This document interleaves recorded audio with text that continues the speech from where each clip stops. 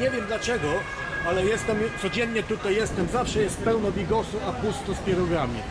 Nie, nie, bo teraz dorobiony bigos. Aha, Dzisiaj to czy miałem nie? zabrakło nawet. A to Nie. już świadczy, to jest bardzo dobrze. Że my mamy to pełno. Patrzcie na YouTube, to ja tam się zobaczycie, bo ja Ale gdzie my instaluję. to zobaczymy? No ta dziewczyna wie, co tam pracuje.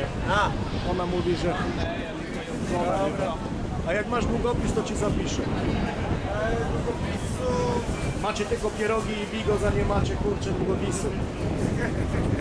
mamy zajęci kulinariami. Ja dziewczynie zapiszę go. Dobra, dobra.